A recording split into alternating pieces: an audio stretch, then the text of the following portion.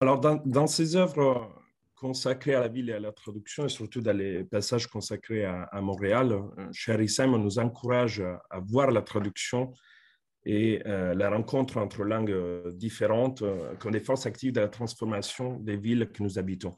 J'ai essayé de, de, lire des villes en traduction, trois villes italiennes.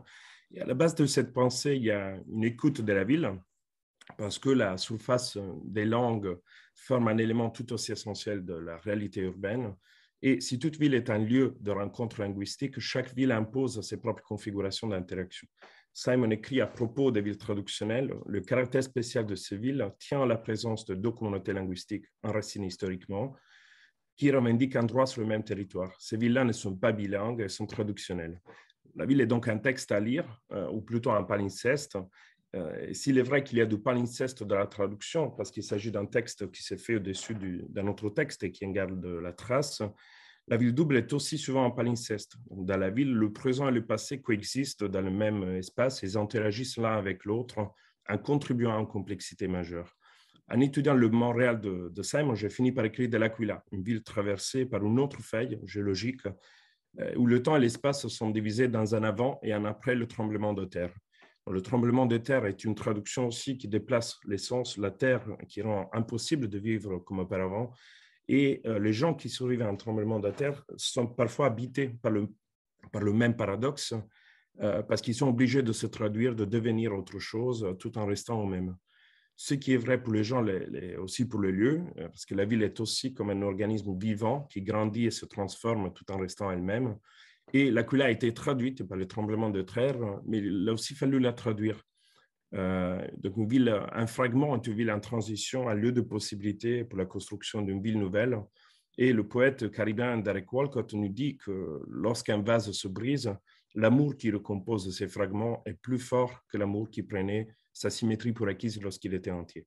Donc, de la fragmentation ne dérive donc pas seulement une rupture, euh, une défaite, mais aussi une compréhension plus large du tout et surtout la, perception de l'énergie et de l'amour nécessaires pour assembler les différents fragments. Il existe différentes façons de réécrire, de traduire une ville.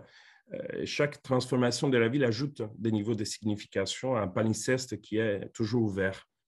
Euh, à l'Aquila, l'expérience de l'Intermedia Videolab permet de redessiner la ville. Euh, ce laboratoire en train de fournir les outils technologiques et visuels pour mener une investigation sur le territoire de l'Aquila dans le but d'identifier les sites euh, historiques monumentaux dont les vides philologiques peuvent être remplis par une reconstruction virtuelle projetée sur la surface en question. Donc, pour donner lieu à un vrai, travail de restauration virtuelle. Euh, les monuments de la ville sont transformés et la ville réelle et la ville rêvée, la ville d'avant et la ville d'après coexistent et se nourrissent l'une l'autre. Euh, donc, ça, nous permet de voir non seulement la ville que, que l'Aquila est, mais aussi la ville potentielle qu'elle aurait pu être et qu'elle n'a pas été. Euh, et donc, de redessiner euh, de quelque sorte la carte géographique et émotionnelle de la ville. Je, vais passer à Venise. Et, il faut tout, tout d'abord préciser que Venise n'est pas seulement bilingue, mais elle est plurilingue, car l'omniprésence de dizaines, de centaines de langues dans la ville euh, nous révèle qu'on ne peut pas la traverser sans se faire influencer par la langue par laquelle on la traverse. Donc, Venise n'est pas Venice, elle n'est pas Venedig, elle n'est pas Venezia surtout. Euh, quel rôle joue la langue que nous parlons dans la manière dont nous vivons en espace? Euh, Il n'y a là pas seulement à l'origine une langue différente, mais aussi une image et surtout un imaginaire différent qui sous-tend la compréhension de la ville. De plus, cette terre arrachée à la mer n'est qu'un des meilleurs exemples de traduction réussie d'un espace, bien qu'elle soit une traduction très infidèle à son original. Euh, Venise naît à travers une conquête de l'eau qui, la transforme l'archipel de la lagune dans une ville. Donc la, Venise des origines s'est développée à partir d'un groupe de noyaux perchés sur des terres insulaires. Euh, c'est une sorte d'archipel dans lequel les terres émergées sont certainement moins étendues que les surfaces d'eux qui les séparent. Donc, bâtir sur l'eau, comme on, l'a fait à Venise, signifie transformer un espace de mouvement, l'eau, dans un espace de sédentarité. Il s'agit d'une vraie physique, d'un changement de langage extrême. Et c'est pour cette raison, pour cette raison, je crois que Paul Precedo parle de Venise comme de ville travestie, en nous disant que son corps est un corps en transition euh, constante, qui existe à travers son défi aux lois naturelles.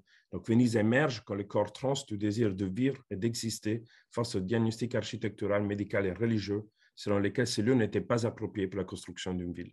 Donc Venise est une ville dans un corps euh, qui, n'a pas eu peur de trouver son corps ailleurs, d'explorer sa propre identité dans toute sa pluralité. Et il y a en plus un paradoxe à Venise qui dérive directement de son caractère de inceste, parce que Venise est en fait ce qu'elle était au départ, et en même temps, elle est entièrement différente. La ville a été construite en un temps relativement court, euh, mais ensuite, elle n'a plus poussé et en différentes étapes, elle s'est transformée.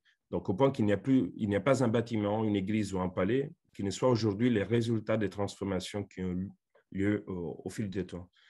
Euh, la pluralité de Venise n'est pas seulement interne, mais elle, elle, se manifeste aussi dans les innombrables traductions de Venise dans le monde qui est en la ville la plus traduite au monde peut-être. Il y a 28 Venice aux États-Unis, 22 au Brésil. On connaît tous au moins une Venise du Nord, une Venise de l'Est. Il y a des quartiers qui s'appellent Venise euh, qui sont présents à Livourne, à Le Havre, à Strasbourg. Il suffit peut-être d'un canal pour que quelqu'un vous dise euh, c'est notre petite Venise. Euh, qu'est-ce qu'elle garde, ces traductions de, de l'original D'habitude, presque rien, un pot d'eau, préférablement des canaux et peut-être un clocher. Euh, infidèle sans être belle. Donc, ces copies mal pensées nous, montrent pourtant le, pouvoir du virtuel dans la perception contemporaine de la, de la réalité. Euh, je pars d'une anecdote. C'est un ami qui, m'a avoué qu'après avoir été au Venetian Resort Hotel de Las Vegas, euh, il a eu l'impression d'avoir vu Venise mieux qu'à Venise. Moins de touristes, boissons moins chères, peu importe qu'il ne s'agisse que d'une copie. Alors, il s'agissait en partie d'une provocation, bien évidemment, et pourtant, on sait bien que la réalité virtuelle est parfois plus vraie euh, que la réalité euh, aujourd'hui. Donc, je me demande si on pourrait utiliser cette euh, nouvelle perception pour sauver Venise de ceux qui arrivent sans être intéressés qu'à prendre des photos. Donc, on pourrait probablement les convaincre euh, que à préférer une autre des milliers de Venise autour du monde, réelle virtuelle, ou même une nouvelle Venise virtuelle située à l'entrée de Venise et faite sur mesure pour, pour elle. Donc, on pourrait ainsi cacher la vraie Venise pour, montrer la vraie Venise, donc détourner l'attention de Venise pour mieux s'en occuper. C'est avec un stratagème très similaire d'ailleurs que Marco Polo avait essayé de sauver sa mémoire de Venise selon Italo Calvino. Euh, Calvino écrit Les images de la mémoire, une fois fixées dans les monts, s'effacent, a déclaré Polo. Peut-être j'ai peur de perdre Venise d'un seul coup si j'en parle, ou peut-être quand je parle d'autres villes, je l'ai déjà perdu petit à petit. Donc, pour éviter de perdre Venise, il faut la traduire. Et traduire Venise signifie dessiner une nouvelle cartographie émotionnelle de la ville qui s'occupe d'en rétablir les liens déjà existants, et de découvrir et mettre en évidence ses atouts. Euh, pour m'interroger davantage sur le concept de traduction de la ville, j'ai aussi décidé de mener une petite expérience de traduction numérique de la ville en utilisant l'application pour smartphone de, Google Translate. Euh, donc, le lexique d'un lieu, ce que le lieu dit physiquement avec les mots inscrits sur ses murs, sur ses portes, parmi ses rues, euh, est fondamental dans la lecture que, nous faisons d'un lieu. Euh, donc, pour le découvrir, j'ai essayé de lire le, texte de la ville à travers la fonction de lecture d'image de Google Translate, qui nous permet d'aller traduire précisément ce lexique en générant des lectures alternatives et multilingues du lieu et j'ai donc visité deux villes, deux villes italiennes, Rome et, Sienne, en me laissant surprendre surtout par les résultats et surtout par les écarts dans les erreurs de traduction euh, et euh, sur comment ces, détours pouvaient nous offrir des métaphores révélatrices à propos de la traduction. Donc l'intérêt, ce n'était pas, bien, bien, évidemment, pas du tout une bonne traduction de la ville, mais euh, une, une, traduction intéressante de la ville euh, par ces écarts. Donc, le premier résultat de la ville n'a été qu'une mauvaise lecture de la ville. Là, vous voyez deux exemples. J'essaie de, lire les inscriptions en latin euh, sur les monuments de Rome, en partant du Panthéon de la Basilique Saint-Pierre au Vatican, mais les manques du latin comme langue de traduction, tout simplement, ne, ne permet pas une traduction. Le logiciel transcrit plutôt que traduire le texte. Euh, ce qui donne lieu à une double lecture réelle et virtuelle en même temps. Mais il y a une, autre sorte de, misreading qui me semble beaucoup plus intéressant, et ce sont les, détours créatifs euh, aux, résultats imprévisibles qui, en trahissant le texte, nous permettent de découvrir l'espace à nouveau.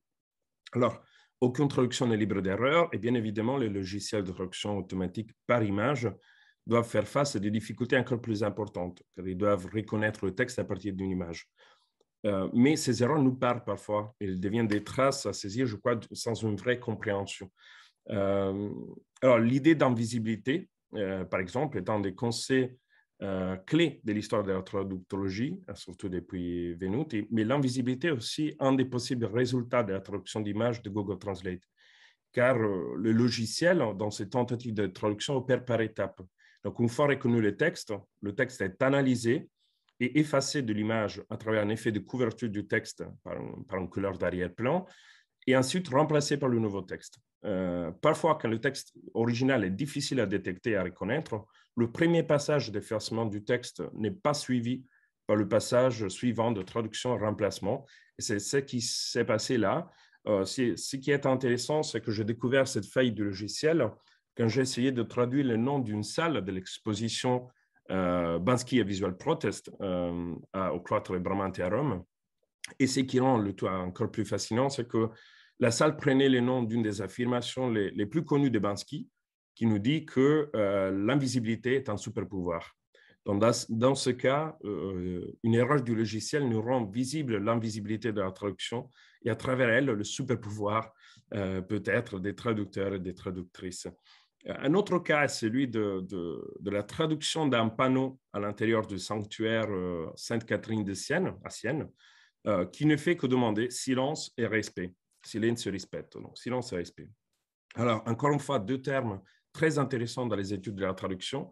D'un côté, on peut imaginer la traduction en tant que forme d'écriture silencieuse, car il s'agit d'une écriture qui, se fait sans utiliser sa propre voix, la réduisant au silence, la mettant au service d'un autre voix. Et de l'autre, euh, dans la relation entre traduction et respect, on lit tous les sens du verbe latin respicere, euh, car toute traduction est un regard en arrière vers un texte déjà existant qu'on essaie d'amener avec respect euh, au-delà d'une frontière linguistique. Alors, le résultat de cette traduction, de cette traduction apparemment très facile, sans surprenant, le français ne nous demande pas silence et respect, mais plutôt de silencer le respect. L'allemand, presque inversant, donc le conseil exprimé, euh, l'allemand nous dit que Schweigen ist Respect, euh, donc presque le silence est respect, mais les résultats les plus intéressants sont, ceux produits par les traductions anglaises. Alors, en bougeant la caméra de quelques centimètres, c'est les deux, les deux traductions en bas. En bougeant les caméras de quelques centimètres, le logiciel interprète de façon très différente le message. Alors, dans le premier cas, il sépare le mot respect en deux parties, RISP et tout, il interprète le mot RISP euh, en tant qu'abréviation de de réponse, euh, donc très, très utilisé dans les textos, dans les communications informelles. Donc, il traduit par Silence is answer to. Encore plus fascinante, la deuxième traduction qui nous dit tout simplement Silence is Russia. Alors, il est très difficile, en ce cas, d'imaginer le parcours suivi par l'algorithme de traduction, mais on ne peut éviter de penser qu'on lit dans cette traduction absolument fausse des possibles vérités. Euh, une dernière tentative de traduction nous offre une image encore plus profonde de la conception de la ville comme texte à traduire. Il s'agit là d'un des, monuments protagonistes d'une traduction de la ville de Rome, le Colisée carré euh, au quartier Eur. D'abord, je me suis intéressé à la traduction de la fameuse inscription qui célèbre le peuple italien sur chaque côte du monument. Euh, là, vous voyez dans la première photo que le texte est traduit à la première ligne en anglais et, à la deuxième et troisième ligne en français. Ça a été un choix du logiciel. Mais surtout, en bougeant la caméra, on perd la première ligne, ce qui nous donne une définition du peuple très italien très différente parce qu'on perd la définition de poète, artiste et héros. Euh, donc, ça change, ça change énormément. Mais lorsque nous nous tournons vers le palais, euh, en capturant des images de sa structure, c'est les arcs présents dans la façade eux-mêmes qui sont lus par le logiciel en tant que forme d'écriture. Donc l'application le lit comme des lettres. Euh, donc on pourrait dire qu'il s'agit là des lettres de l'alphabet architectural de la ville, des éléments de sa syntaxe euh, urbanistique, de la grammaire de son espace peut-être. Donc Google Translate ne lit pas que les paroles qui nous entourent dans la ville, mais lit la ville elle-même, en nous permettant de la comprendre en tant qu'écriture, en tant que texte, de façon encore plus concrète que ce que j'avais proposé. Donc, elle traduit au moins un des sens de la ville euh, et elle nous oblige à percevoir ces espaces en tant qu'élément d'une écriture, en nous fournissant un nouvel alphabet pour une nouvelle possibilité de lecture de l'espace. Merci.